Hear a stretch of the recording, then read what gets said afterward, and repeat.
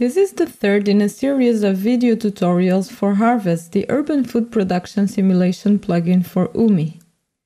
In this third tutorial, we will talk about the contents of the urban foodprint files. To be able to assess the sustainability of urban food production, you first need to study the existing supply chain from farm to city so that you have a baseline to compare your food production scenarios to. Based on this premise, we have developed the urban foodprint method, which consists of gathering data on the food system for a given urban area and estimating the environmental impacts of this baseline. You can read more about the method in our open access paper in the International Journal of Design and Nature and Ecodynamics. The harvest workflow presented in previous tutorials showed that the urban foodprint JSON file is one of the four inputs that you need for your harvest simulations. Here we will go through the contents of this JSON file and show you where to find data to build one for your city. The urban foodprint file consists of a list of crops, and for each crop, three types of data entries have to be provided.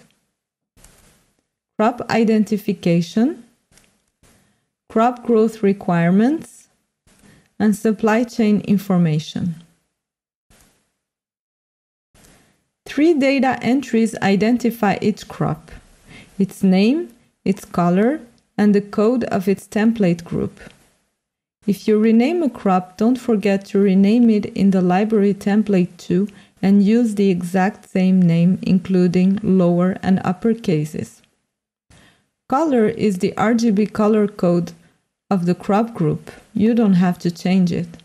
And template group code is R for red crops, O for orange, LG for light green, and DG for dark green crops.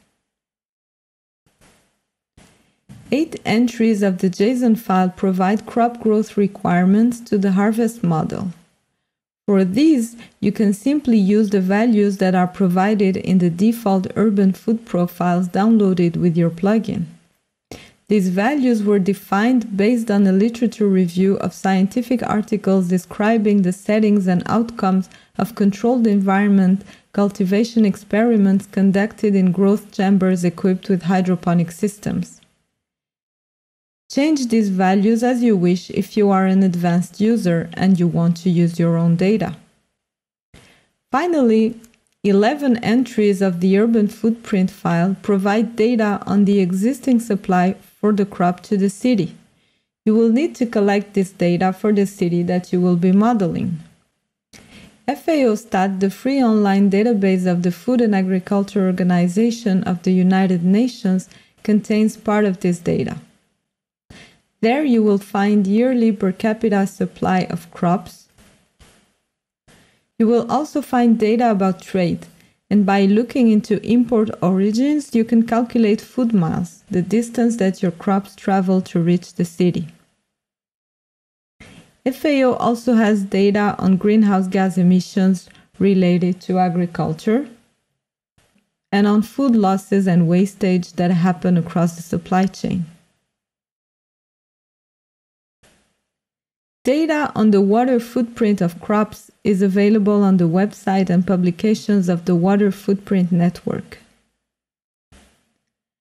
Average retail price of crops vary throughout the year. You can either try to find reliable market data for your city or make assumptions based on prices in the main local stores. Finally, you will find wages of specialized farmers in your country's statistical reports and water rates on the website of your local water utility.